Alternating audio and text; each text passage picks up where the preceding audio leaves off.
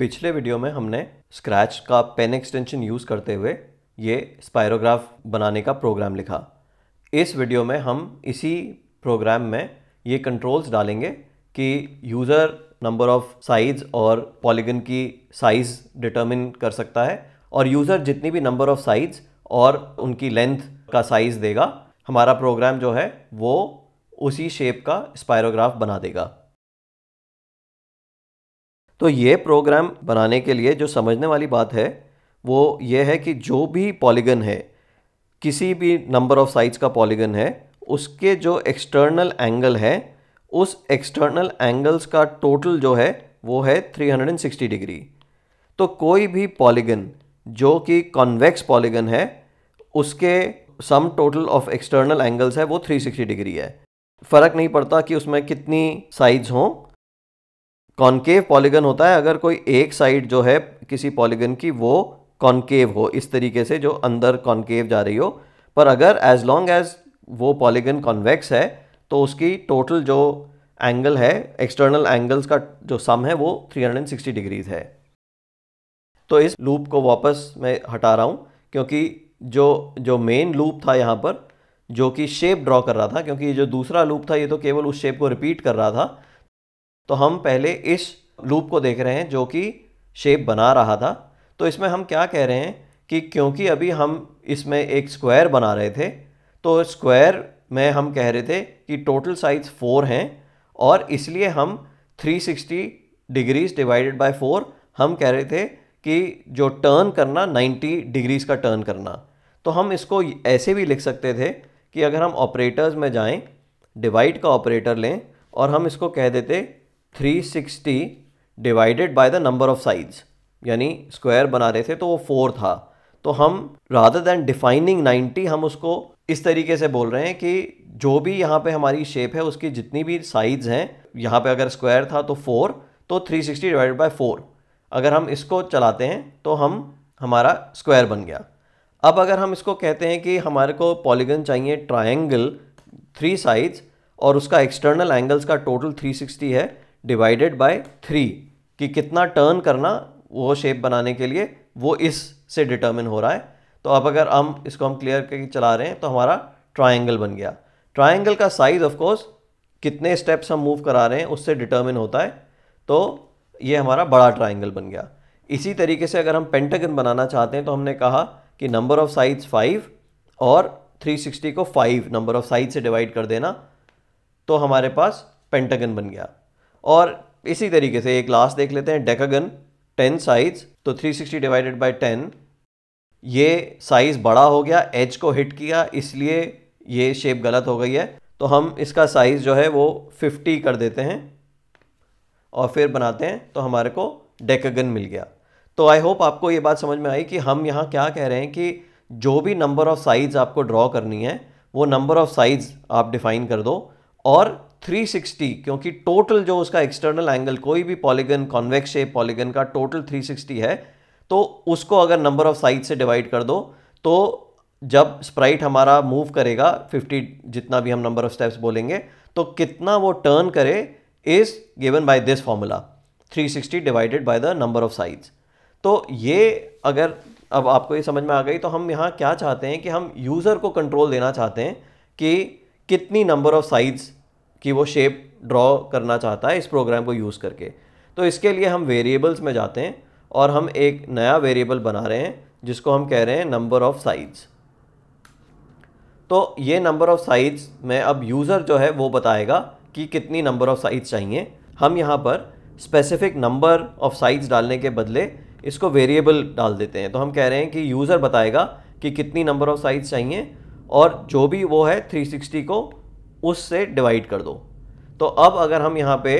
Number of size अगर मैं इसको राइट right क्लिक करता हूँ और स्लाइडर बना देता हूँ तो मैं स्लाइड करके डिटर्मिन कर सकता हूँ कि साइज़ कितनी नंबर ऑफ़ साइज़ चाहिए। तो अगर मैंने कहा यहाँ पे कि थ्री चाहिए साइज़ और क्लियर किया तो मेरे पास ट्राइंगल मुझे मिल गया। उसके बाद अगर मैंने कहा कि मुझे ऑक्टागन चाहिए क्लियर किया तो मुझे ऑक्टागन मिल गया। तो आई होप आपको ये बात समझ में आई कि हमने इसको फॉर्मूला से रिप्लेस कर दिया है और हमने जो कंट्रोल है वो यूज़र को दे दिया है कि वो वेरिएबल यहाँ से डिफाइन कर दे। और इसी में आप अगर फिर से राइट क्लिक करोगे तो आपको ये चेंज स्लाइडर रेंज ऑप्शन मिलेगा। और हम यहाँ क्या कह रहे हैं कि मिनिमम थ्री हो और let's say maximum maximum twenty हो। और मैं बताता हूँ आपको ट्वेंटी क्यों। क्योंकि अगर मैंने एक नंबर ऑफ़ साइज़ से ऊपर कर दिया इसको like let's say number of size are twenty और फिर ये शेप बनाई इसका साइज़ हम छोटा कर देते हैं ट्वेंटी कर देते हैं फिर मैं अगर ये शेप बना रहा हूँ तो एक नंबर ऑफ़ साइज़ के ऊपर आप चले जाओगे तो वो आ, क्योंकि वो नंबर ऑफ़ स्टेप्स कम है स्टेज का साइज़ ध्यान रखते हुए तो वो 20 स्टेप्स मूव करेगा बहुत थोड़ा सा मूव करेगा और वो 360 डिवाइडेड बाई 20 जो भी नंबर ऑफ़ साइड्स हैं, उतना टर्न करेगा तो इवेंचुअली एक नंबर ऑफ़ साइड्स के बाद वो सर्कल ही बन जाएगा। इसलिए कोई पॉइंट नहीं है कि हम यहाँ पे स्लाइडर की वैल्यू 100 तक ले जाएँ बिकॉज़ हमारे को मिलना एक सर्कल ही है। तो ये हमारा पहली बात आ गई कि हमने यूज़र को कंट्रोल दे दिया नंबर ऑफ़ साइड्स का। फिर हम दूसरा कंट्रोल यूज़र को देना चाहते हैं कि वो कितना, जो जो पॉलीगन बन रहा है, उसकी एक साइड की लेंथ कितने यूनिट्स हो, जो कि ये ये वाली कमांड डिटर्मिन कर रही है मूव 20 स्टेप्स तो यहाँ पे 20 के बदले अगर हम यहाँ पे 10 कहते और फिर इसको चलाते तो हमारे पास छोटा सर्कल हमारे को मिल रहा था। तो हम एक और वेरिएबल डिफाइन कर देते हैं और यहाँ पे हम कह रहे हैं साइज़ ऑफ़ पॉलीगन तो साइज़ ऑफ़ पॉलीगन को भी हम राइट right क्लिक करके स्लाइडर बना रहे हैं और हमें पता है कि अगर वो स्टेज से बड़ा हो जाएगा तो वो हमारा हमारा प्रोग्राम उसको नहीं डील करेगा। तो हम इसको भी फिर से राइट क्लिक करके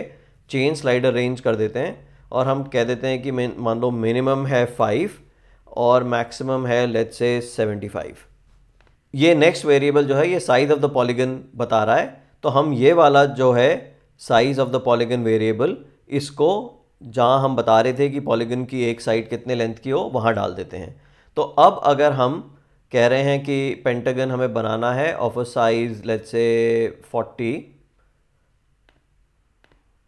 तो हमारे पास 40 का साइज़ का पेंटागन है। अगर हम इसको बड़ा कर देते हैं तो हमारे पास बड़े साइज़ का पेंटागन है। और इसी तरीके से अगर अब हम कह देते हैं कि हमारे को ऑक्टागन बनाना था, और 75 साइज़ का ही तो क्लियर किया। तो ऑक्टागन में भी थोड़ा छोटा साइज़ का कर देते हैं। तो हमारे पास ऑक्टागन आ गया। अगर हमें डेकागन टेन साइज़ का बनाना था साइज़ थोड़ा छोटा कर देते हैं। तो हमारे पास डेकागन आ गया। तो इस तरीके से हमने यूज़र को कंट्रोल दे दिया है नंबर ऑफ़ साइड्स और साइज़ ऑफ़ द पॉलीगन का। और अगर अब हम इसको, जो हमने पहले प्रोग्राम लिखा था, जो कि ये जो सेकेंड पार्ट था प्रोग्राम का, ये केवल उसी जो हम शेप बना रहे थे, उसके बाद वो क्या कह रहा था कि जब ये शेप कंप्लीट हो जाए तो ये जो नेक्स्ट पार्ट था, वो कह रहा था कि change the colour of the pen by ten move ten steps turn twenty five degrees and फिर अगर हम इस पूरे को एक और लूप में डाल देते हैं तो हम कह रहे हैं कि फिर टेन स्टेप्स मूव करके ट्वेंटी फाइव डिग्रीज टर्न करके एक और सेम शेप बना देना, फिर सेम शेप बना देना, जितने भी नंबर ऑफ़ टाइम्स हम यहाँ पे इस लूप की वैल्यू डालेंगे। तो अब अगर हम इसको ट्राई करके देखते हैं तो हमारे पास अब एक स्पायरोग्राफ बन गया जो कि यूज़र कंट्रोल्ड है।